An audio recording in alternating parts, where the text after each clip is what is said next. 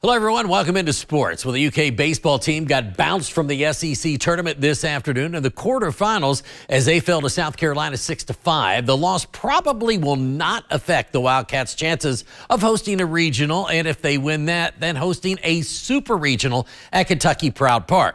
All right, to the highlights of this one. Top two, no score, but two on for Nolan McCarthy. He hits a high chopper over the infield, and the Cats took an early 2 0 lead as Lopez and Daly come around to score. But uh, that lead didn't last too long. Why? Because, man, this guy has been great in the tournament. Gavin Casas again, he goes yard off Mason Moore. 429 feet. The three run shot put South Carolina up by one. Now, the Cats would battle back, but the Wildcat hurlers couldn't find the strike zone, giving South Carolina eight free passes in the game. That's six walks and two hit batters. You're not going to win many with that stat. Silver lining, though, the Wildcat pet, uh, pitchers will get a week to rest their arms before the regional start. But a freshman, Ben Cleaver, could become a real force on the bump for the Cats. Two innings today with three strikeouts.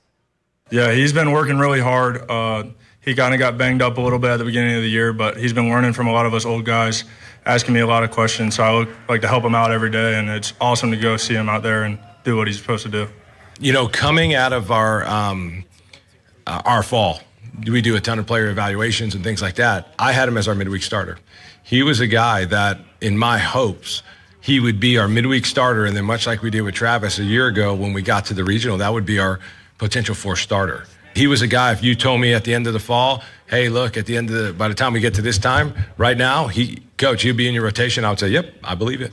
That's how highly we thought of him. So, um, in a lot of ways, we feel like we're adding another quality arm to our bullpen. And uh, if we got to start him, I'll feel totally comfortable doing that.